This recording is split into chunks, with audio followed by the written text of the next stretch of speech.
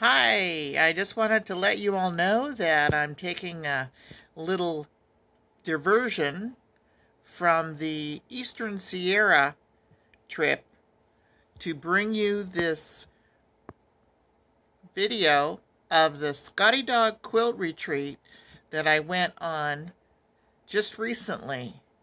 I'm posting it early because other people want to see what I did.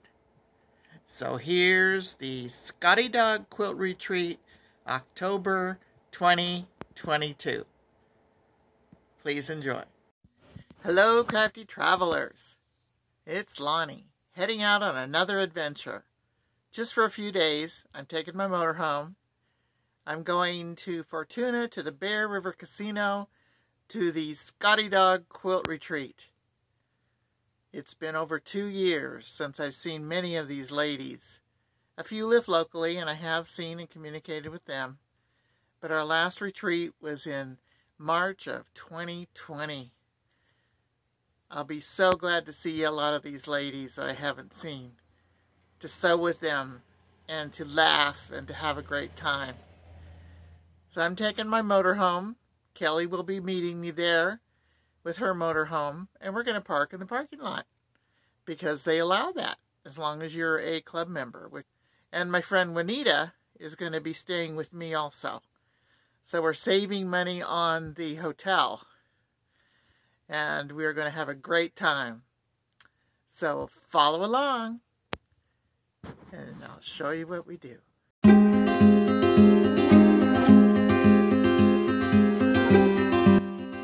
Am a 71 year old woman who loves to camp and travel.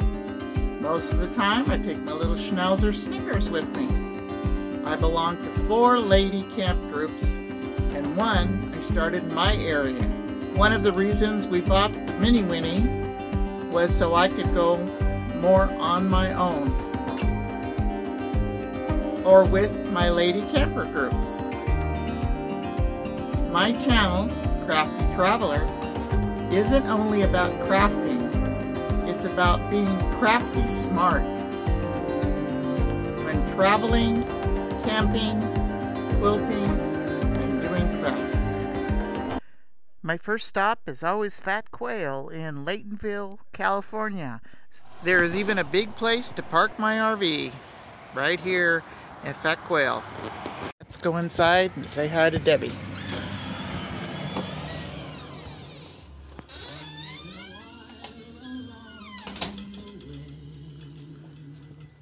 Hello?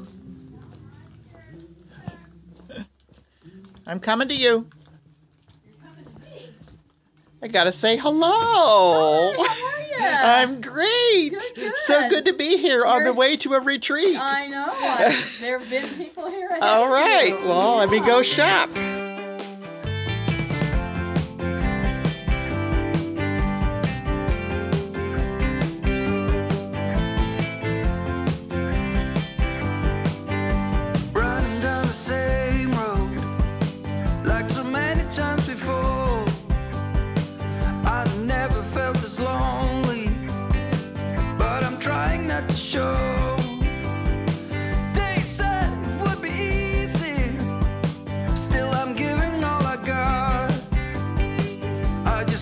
Tell you something.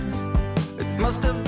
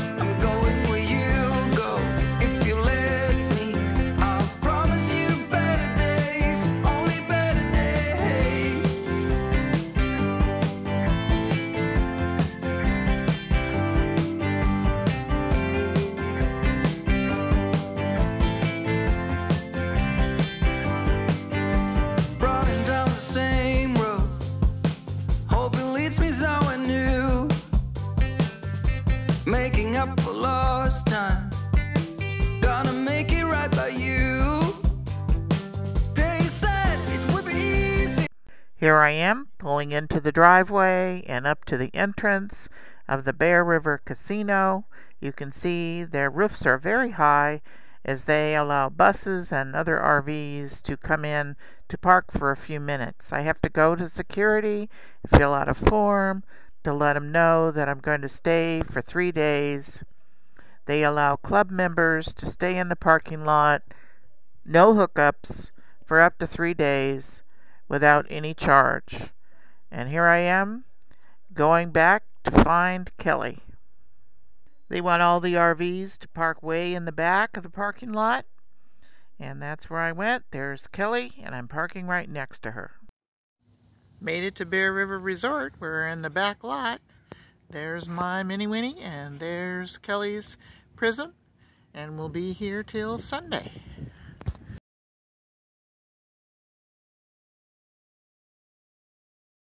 Well, I made it to Bear River, and I'm parked next to Kelly in the parking lot. And Juanita is here in the casino unloading her things and then she's going to come and get me so I can unload my sewing machine and chair and things I'll need for the weekend in the casino. Just had a little glass of wine and some Pringles and as soon as she gets here in a few minutes then we'll do our thing and go eat dinner somewhere. Stay tuned. We went to Barbecue and Barrel in Fortuna, and this was a jalapeno margarita. We all had a cocktail, we ate delicious food, and had a great time at this restaurant. Bear River Casino in Loleta, California is where the quilt retreat is. A little foggy today. Today's Friday. Bear River Casino in Loleta. And we're all in the ballroom sewing. There's some beautiful pictures of the redwoods in the lobby.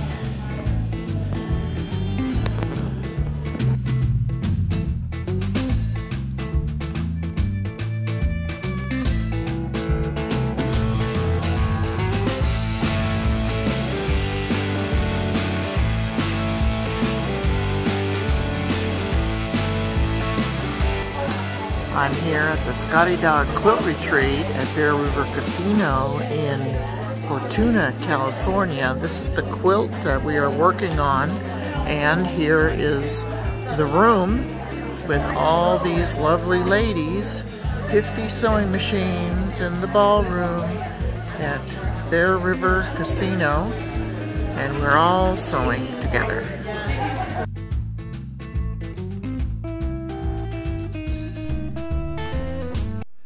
Our hostesses are Brenda Lou Scott and Liz Adams.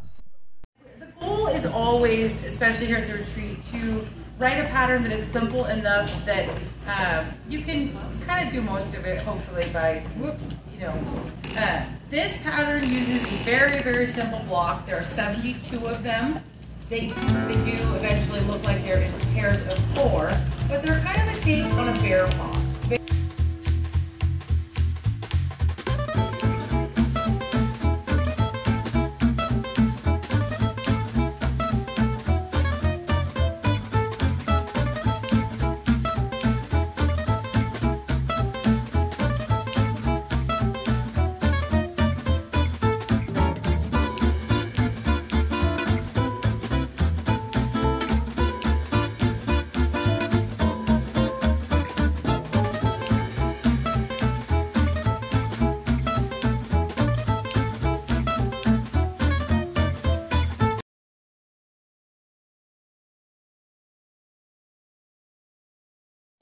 And we are at Fernbridge Cafe and Coffee Bar. And Juanita's saying, come on in, I'm hungry. I love the bacon. The bacon is number one.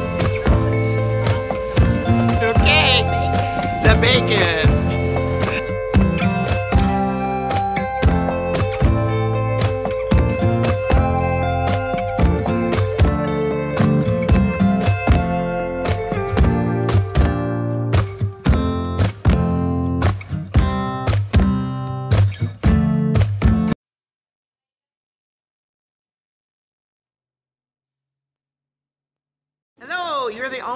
What's your name? Kimberly.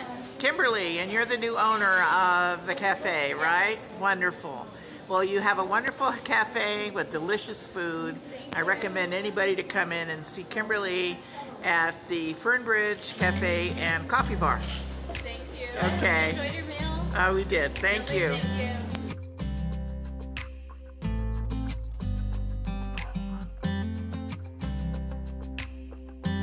Look at this bicycle. Juanita called it the Mardi Gras bicycle. It's parked right here by Stitch. Nice fabric store in Ferndale. Been here many times, but now it is under new ownership. So let's go inside and see what's different.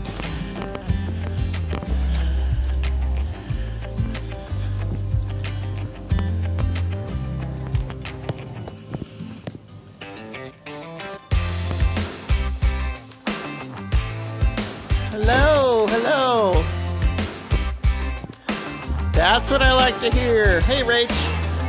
It's Rachel. So that means Sue's here. oh, look at all the black and white, Juanita. Right there. Oh, yeah, you got there too.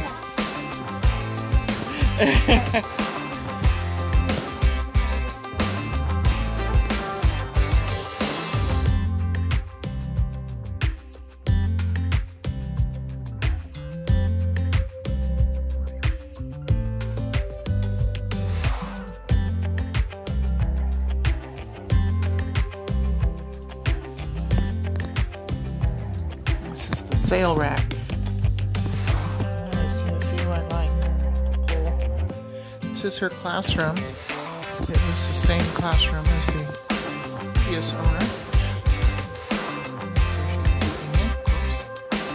New classes and sewing. This is Kelly Hampton, and she's the new owner of Stitch in Ferndale. So, Kelly, how you like being a quilt shop owner? I love it. Good. It's wonderful. Good. I understand you have a business background.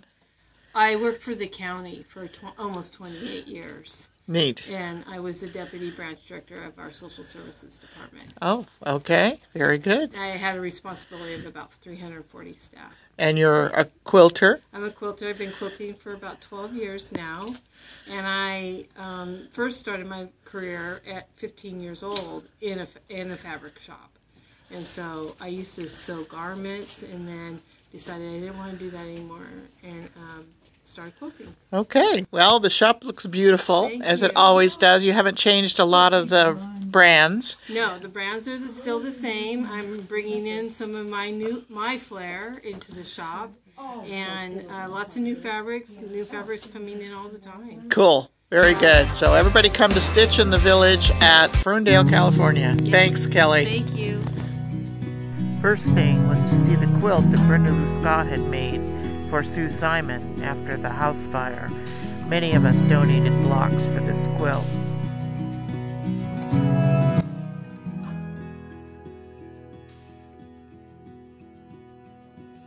And, and every time I go in there, I see you guys in it. I see new names all the time. And um, you just can't imagine how much this means. So I thank you for everything from the bottom of my heart. And we'll leave it out so you guys can look and see. Absolutely beautiful. Isn't it wonderful? Watched a ton of different YouTube videos on different um, left, center, right beams. Couldn't really figure out exactly which one. We kind of just did a hybrid. I tested it with my seven nieces and nephews and my daughter. So we had eight kids ranging from three to 17. They fought. They cried, not just the three-year-old. they did not want to trade sometimes when they were forced to trade, but they, in the end, they all had a really good time and they all got to go home with a bunch of candy because they played with candy. So here's how it's going to work. You have two fat quarters that you brought to the table, and what you're going to do is you're going to roll a dice. It might, it has a line on the bottom of which way that uh, hand is pointing. So you're, wh- however it falls on the table, if it's a hand, you're going to put the line towards you, and it will tell you this side or that side. What you're trying to do is get the best stuff. You're trying to get stuff from the center.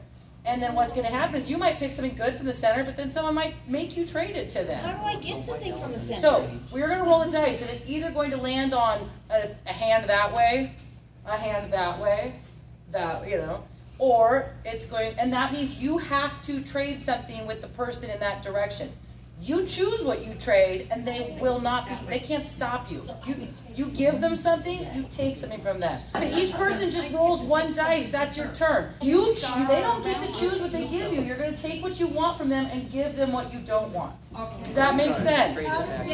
If you roll a star, that's the pirate's booty in the center. You're going to take something from the center and bring it to yourself. Doesn't mean it's yours because someone on your left or right may take it from you and give you a piece of junk. Right. If you roll a circle, sorry, just pass your dice on. You don't get to do anything. You're gonna, you're, the person who sat at the table first and is holding the die is gonna start the game. They're going to, we're going clockwise. The game ends when the center is empty. So you'll go, how long the game lasts depends on how you guys roll. It's a pretty quick game. Everybody, everyone will end up with two or more prizes. Yeah, but you're gonna go home with at least two things. Okay, ladies, let the dice roll as they may.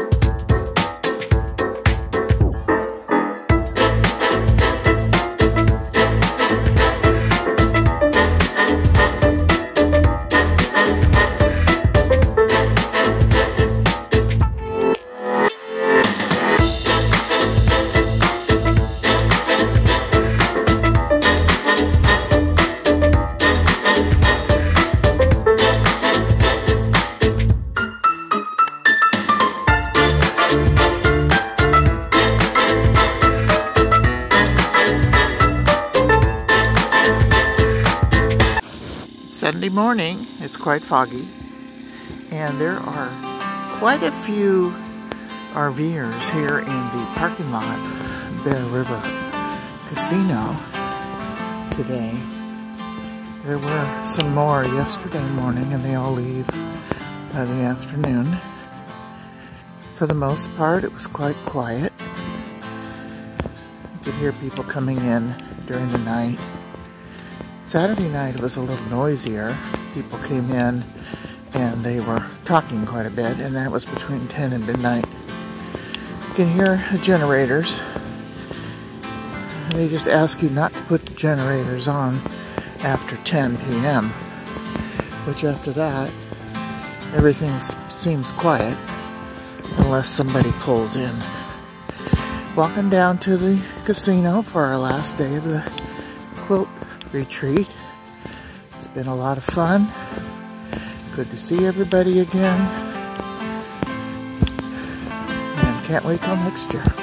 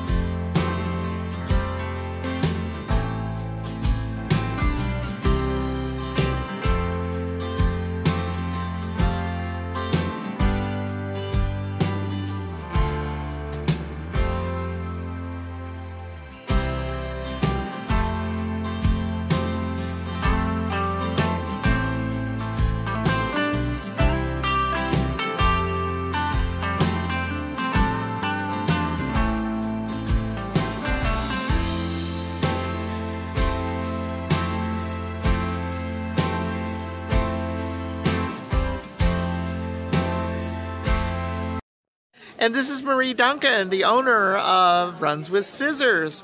So, Marie, tell me about your little store. Where is it located? I'm located in Citrus Heights, California. Okay, and I'll put all your information in the description so people can call her or go see her store.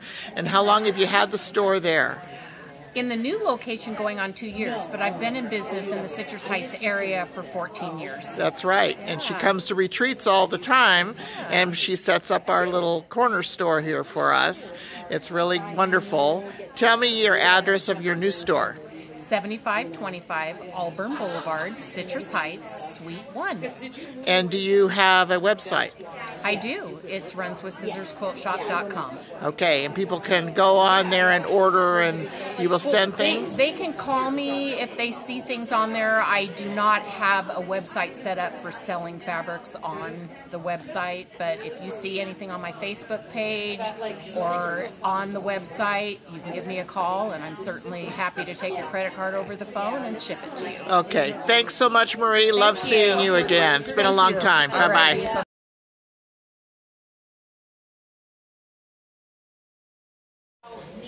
These are the nine patches for the sunshine quilts that Barb just won. How many did she win? She won, uh, I, I think there's about almost seventy. 70 blocks. 71 blocks. they will be made into quilts for Sunshine Club, which is a quilt guild online that makes quilts for children who come out of the hospital with cleft palate surgery.